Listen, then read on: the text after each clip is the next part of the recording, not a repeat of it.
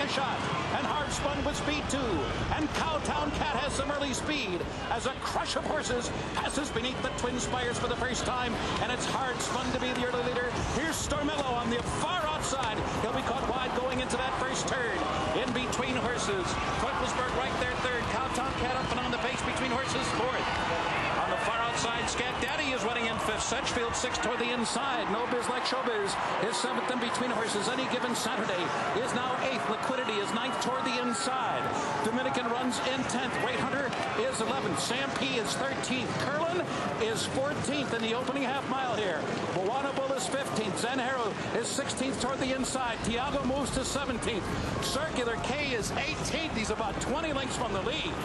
And then down toward the inside, it's Storm in May. Street Sense is second to last. Street Sense is the 19th of 20 as they continue down the backstretch run.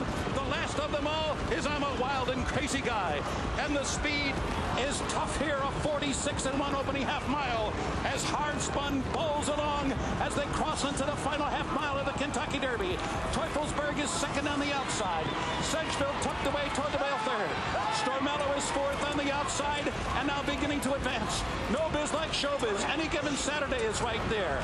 On the far outside, Great Hunter is launching a bid. He's moving wide as they approach the top of the stretch. And here's Street Sense with a huge move on the far turn. And Calvin Borel saving ground every step of the way. But it's hard spun to catch as they come off the turn. A mile and 37 flat. And Street Sense draws alongside as they move headlong into the final furlong. And Street Sense 19th position to